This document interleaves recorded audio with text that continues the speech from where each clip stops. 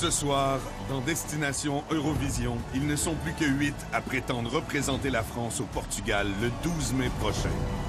Ces huit chansons originales et leurs interprètes ont remporté les votes de nos jurés français et internationaux. Mais ce soir, pour la grande finale en direct, c'est vous qui décidez. Aux côtés d'un jury international, c'est vous qui allez élire la chanson qui portera nos couleurs et fera peut-être gagner la France à l'Eurovision 2018.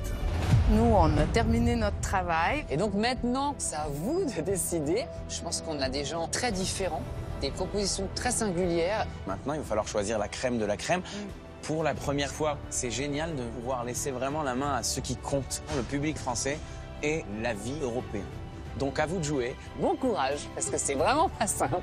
Le public, c'est de toute façon toujours le meilleur juge. Pour cette grande finale exceptionnelle, chaque artiste interprétera sa chanson comme il pourrait le faire le soir de l'Eurovision. Chacun d'entre eux recevra également le soutien de parrains de prestige parmi les plus grands noms de la chanson française.